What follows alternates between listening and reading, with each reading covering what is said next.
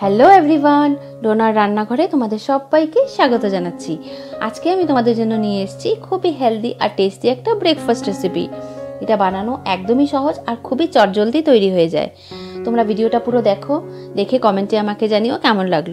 আর এই রেসিপিটা যদি তোমাদের ভালো লাগে, একটা লাইক করো শেয়ার করো তোমার ফ্রেন্ডস আর ফ্যামিলিতে আর যারা আমার চ্যানেলে নতুন এসছো চ্যানেলটিকে অবশ্যই সাবস্ক্রাইব করো। তো চলো শুরু করি হেলদি আর টেস্টি ব্রেকফাস্ট গোলা রুটি বানানো। এটা কিন্তু আমার ভার্সন তোমরা অবশ্যই এটা ট্রাই করো। তো এই গোলা রুটি বানানোর জন্য আমি এখানে নিয়ে নিয়েছি কিছু সবজি। তো প্রথমে আমি নিয়েছি একটা কুচি করে কাটা পেঁয়াজ, আর নিয়েছি একটা টমেটো। টমেটোর ভেতরের পাল্পটা ফেলে আমি ছোটো ছোটো টুকরো করে কেটে নিয়েছি। খুবই ছোটো ছোটো টুকরো করে কেটেছি। আর নিয়েছি দু টেবিল স্পুন মতো ধনে পাতা আর একটা কাঁচা লঙ্কা কোচানো। তো তোমরা ঝালটা তোমাদের ইচ্ছে মতো কম বেশি করতে পারো।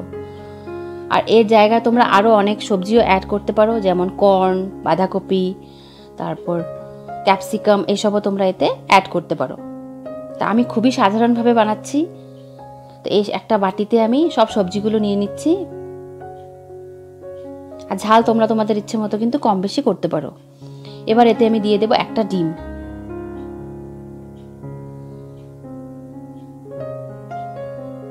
ভালো করে মিশিয়ে নেব ডিমটার সঙ্গে সবজিগুলো।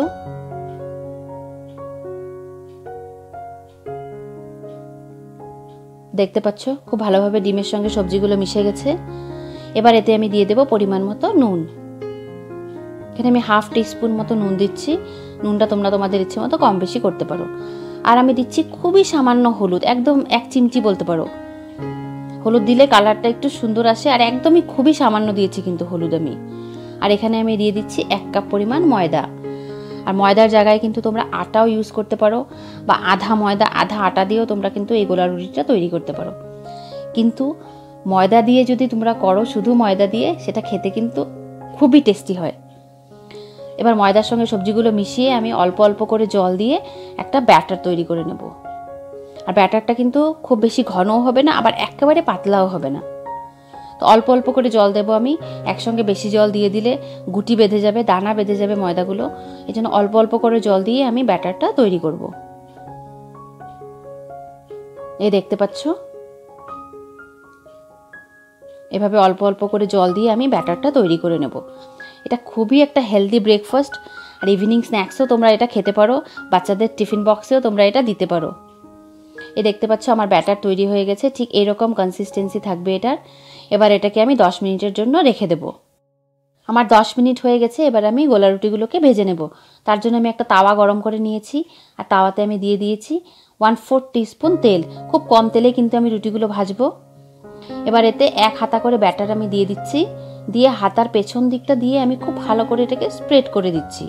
যতটা সম্ভব পাতলা করা যায়, আমি সেটাকে করে দিচ্ছি।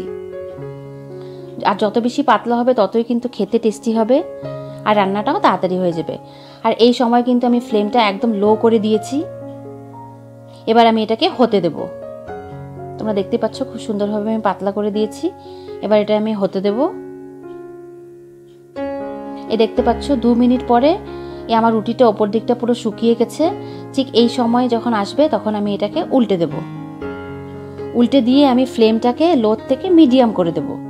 দিয়ে এইভাবে খুন্তি দিয়ে চেপে চেপে খুব ভালো করে রুটিটা আমি এপিট ওপিট করে ভেজে নেব।